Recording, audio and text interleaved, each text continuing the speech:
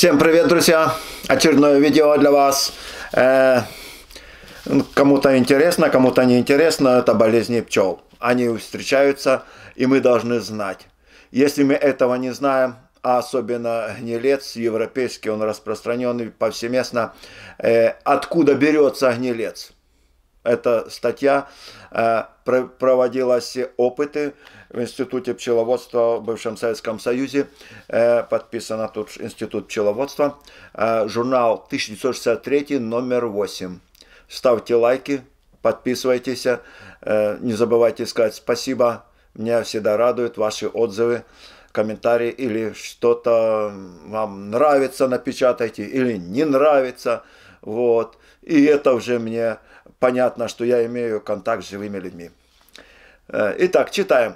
Э, журнал 63 год, номер 8, пчеловодство, э, страница 42. Европейские гнилец и растения. Существуют микроорганизмы, которых называют эпифитами. От греческого слова «эпи» – «над» и «фитос» – растения, то есть над растениями они, э, на растениях. Они живут и развиваются на растениях, усваивая аминокислоты, сахара и другие питательные вещества, выделяемые листьями и другими частями растений. Характерная особенность этих микроорганизмов заключается в их способности переходить с семян на зеленые части растений. Пчеловодам давно интересовал вопрос о возможности развития и жизни микробов-возбудителей гнильца на растениях. И тут указываются пчеловоды ученые в 1874 году Шенфельд и Сербинова также считали медоносное растение одним из очагов заражения гнильца. Обратили внимание, откуда гнилец берется? То есть пчелы собирают мед и заодно попадает этот гнилец в гнездо. Красикова 1955 год провела бактериологическое исследование медоноса вокруг пасек, неблагополучных по европейскому гнильцу. Возбудитель этой болезни бацилла альвей была обнаружена на всех растениях и в 32% случаях обножки пчел, но бактерии плютон и стрептококки Коки опис не были найдены на, ни на растениях, ни в обножке. То есть европейский гнилец э, живет на растениях, обратили внимание, а остальные бактерии, которые американского, они не показаны здесь, что они попали на эти растения. Далее, что они сделали?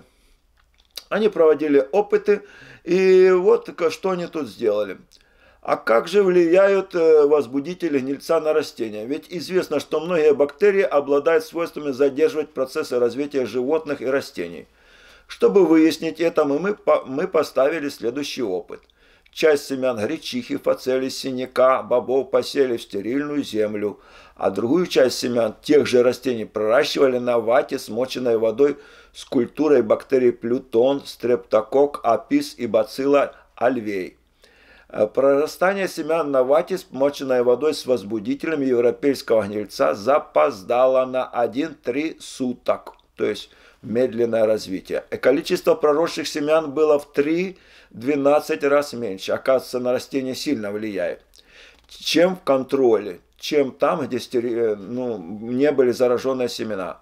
Особенно сильно затормаживающее развитие свойства проявлялись у бактерии плютон – Задержка микро, микробами-возбудителями гнильца прорастания семян и развития растений указывает на наличие в них вредных веществ. Пораженные инфекцией европейского гнильца пчелиные семьи также могут задержаться в развитии еще до появления в них мертвых личинок. То есть от самого начала уже, э, как говорится, развитие идет заторможено. Ранняя весенняя пересадка пчелиных семей, хорошо очищенные, дезинфицированные ули и на пасеках неблагополучных по гнильцу, профилактическая обработка их антибиотиками подавляет развитие и накопление микробов-возбудителей гнильца в пчелином гнезде – то есть э, обязательно против гнильца надо делать профилактику. Антибиотики это в первую очередь пенициллин, там и другие э, добавляются, я уже говорил во многих видео, э, в сахарный сироп по весне. Своевременное подавление жизнедеятельности вредной микрофлоры в пчелином гнезде предупреждает задержку в развитии пчелиных семей и появление видимых признаков гнильца, гибели расплода.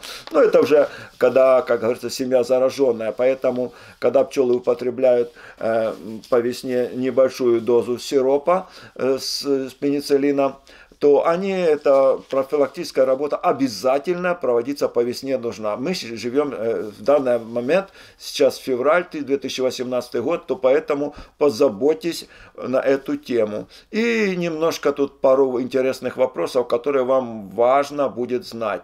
Нужна ли пчелам вода зимой? Откуда они берут ее? Ответ – первую половину зимы, пока в гнездах пчел нет расплода, вода им не нужна. Им достаточно влаги, которую они получают из меда. Исследования показали, что в медовых зобиках пчел мед имел такое же содержание воды, как и в ячейках сотов, которые они распечатали внутри клуба для своего питания. С появлением расплода с конца февраля и в марте, именно вот данный момент, сейчас, вода э, пчелам становится необходимой для приготовления молочка. Нужную воду пчелы получают опять же из меда благодаря его гигроскопичности. Мед способен вбирать влагу и разжижаться тем, чем сильнее тем сильнее, чем влажнее будет воздух. Ну, по весне воздух зачастую влажный, вот, и поэтому это все содействует к правильному развитию семьи. Есть еще весьма интересный вопрос, а, заострю ваше внимание, чтобы вы э, поняли, что это очень важный вопрос. Могут ли перезимовавшие пчелы принять участие в медосборе, который начинается в июне или в первых числах июля?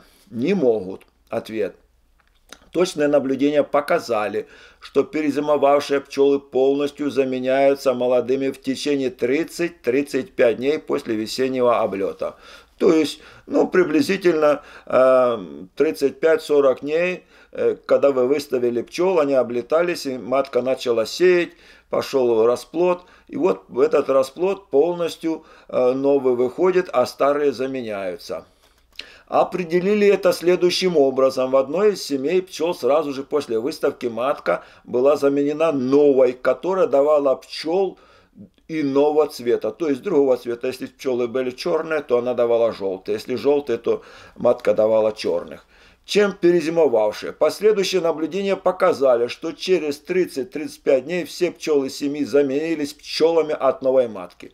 Следовательно, если пчел выставлять в вашей области во второй половине апреля, то ко второй половине мая старые пчелы будут заменены молодыми. Перезимовавшие пчелы с успехом используют лишь взятки с ивы и других ранних медоносов. Чем больше пчел перезимуют в семье, тем больше они вырастят молодых пчел, которые смогут работать на главном взятке. Еще интересный вопрос именно э, на эту тему. Обратим внимание. Известно, что пчелы, выведенные летом, гибнут зимой, зимой или ранней весной. В связи с этим возникает вопрос, на целесообразность ли отобрать летных пчел осенью и организуя их слет, а в зиму оставлять только молодых пчел, которые хорошо зимуют и весной способны выращивать расплод. Ответ. Опыты показывают, что при благоприятных условиях содержания могут перезимовать все пчелы семьи, как молодые, так и старые. Семьи очень часто зимуют с незначительным отходом пчел, поэтому не следует думать, что старые пчелы в семье должны обязательно погибнуть в течение зимы. Они не могут выращивать расплод ранней весной, но облегчают зимовку молодых пчел и вовсе не являются ненужным балластом в семье. Э, как это часто думают, в клубе часть пчел выполняет роль обогревателей, и другая часть сидит неподвижно, пользуясь готовым теплом. Проводились опыты, при которых сравнивали зимовку семей с пчелами всех возрастов – зимовкой такой же по силе семьи, от которых отобрали осенью старых пчел. Выяснилось, что отбор таких пчел ослабил семью, но отнюдь не улучшил их зимовку. Ослабленные семьи хуже развивались весной. Итак, обратите внимание, друзья, все, что создал Бог, правильно развивается, и поэтому, если с осени у вас э, семья имеет и старых, и молодых пчел, то эта полноценная семья способна перезимовать хорошо. Вот. И они отнюдь не лишний балласт, но помогают вам. До встречи, до свидания. Скажите спасибо.